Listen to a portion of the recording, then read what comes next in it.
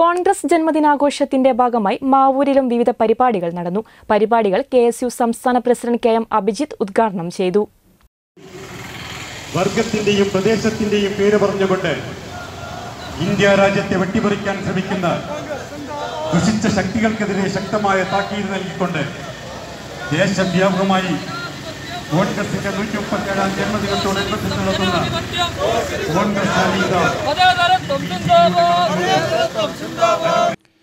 Indian national കോൺഗ്രസിന്റെ നൂറ്റി മുപ്പത്തിയേഴാം ജന്മവാർഷികത്തോടനുബന്ധിച്ചാണ് മാവൂരിലും വിപുലമായ പരിപാടികൾ സംഘടിപ്പിച്ചത്.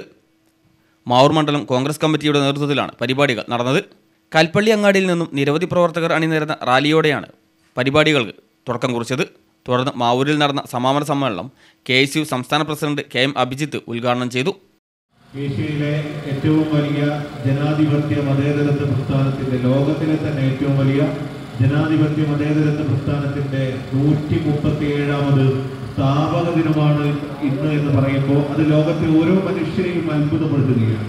പ്രത്യേകിച്ച് നമ്മുടെ ഈ കൂടിയിരിക്കുന്ന ആളുകൾക്ക് ഒരുപക്ഷെ കോൺഗ്രസ്സുകാരൻ എന്ന് പറയുന്നതിൽ തെല്ലും ആശങ്കയല്ല അഭിമാനമാണ് വേണ്ടത് എന്ന് ഉറക്കെ നെഞ്ചു വിരിച്ച് നമുക്ക് പറയാനും സാധിക്കും.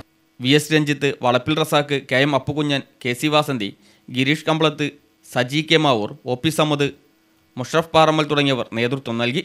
News bureau Mavoor.